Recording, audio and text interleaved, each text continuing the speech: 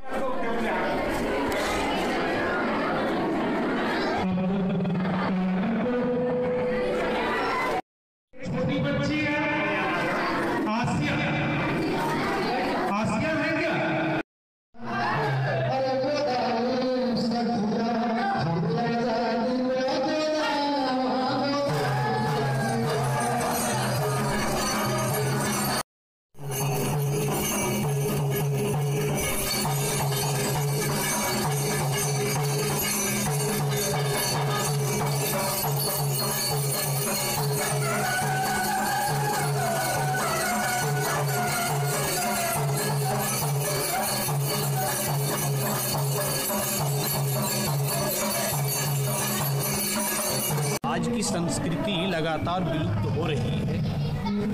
उसकी प्रेरणा देने के लिए युवा आगे आवे और युवाओं में जो छिपी हुई प्रतिभा है वो निकल करके युवाओं का मार्गदर्शन करे और युवा जो है राष्ट्रीय स्तर के अंतर्राष्ट्रीय स्तर के मंच तक जाने में सफलता पा जाए। किस प्रकार के सांस्कृतिक कार्यक्रम में दिखाया जा किया गया है? इसमें जो हमारी जीवंत परंपराएँ रही हैं जैसे धोबऊ है गुणऊ नृत्य है या कजरी है कहरवा है नयकवा है इस तरह के कार्यक्रमों को हम लोग पुनर्जीवित करने का प्रयास कर रहे हैं। यह जिला स्तरीय सांस्कृतिक कार्यक्रम है। युवा कार्यक्रम खेल विभाग भारत सरकार द्वारा आयोजित की जा रही है।